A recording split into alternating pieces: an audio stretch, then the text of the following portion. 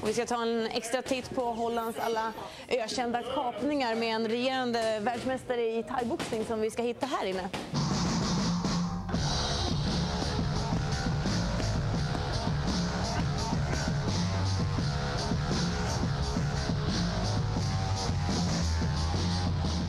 Det här är alltså VM-finalen i somras. Spanien mot Holland. Det här är van Persie. Har han någon talang tror du? Lite för mesigt tycker jag. Och sen är det ju inget bra att ligga ner när man, när man sparkar. Utan man måste ju stå upp. Nu kommer van Bommel. Har vi där. Yes. Ja, den där, den där var lite bättre om man säger så. Den var lite grövre. Ja, den där hade man nog blivit lite irriterad på Van Bommel får godkänt Ja, han alltså, får godkänt. i- Ja. Inom K1. Det tycker jag. Finns det någon liknande? Och här har du Oj. kanske en... Ja.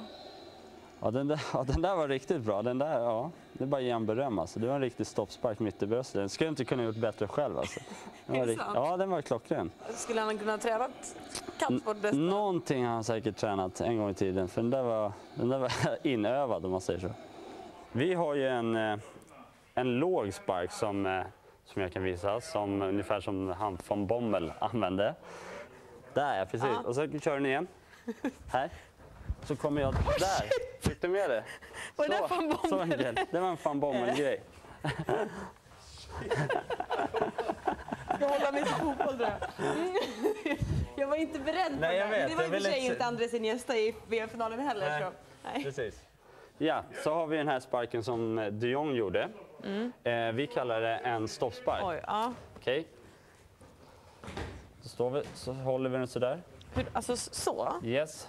Är ni med nu? Jag vet inte vad vi...